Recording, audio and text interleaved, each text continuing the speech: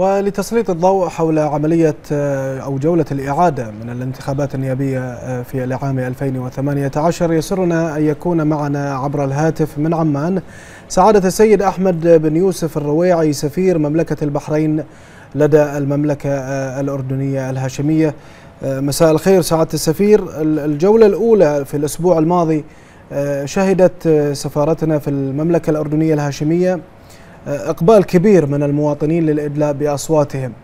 كيف تقرأ المشاركة في هذه الجولة لديكم في عمان؟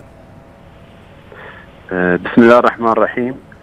بدأت عملية التصويت في جولة الإعادة لانتخاب 2018 عندنا في عمان في تمام الساعة الثامنة صباحا نعم. بمقر السفارة.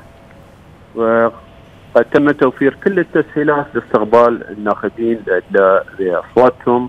وممارسة حقهم الانتخابي بكل أريحية للإدلاء بأصواتهم بالأريحية التامة.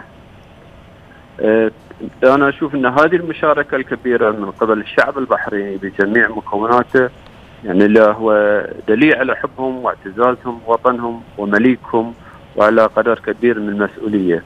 وتوافد اليوم من الصباح أعداد كبيرة من البحرينيين والمواطنين بعمان وقاعد العدد يزيد لأن كان الوقت بديناه في دوام الرسمي والآن إحنا قاعدين نحس ان في إقبال أكثر بعد الدوام الرسمي.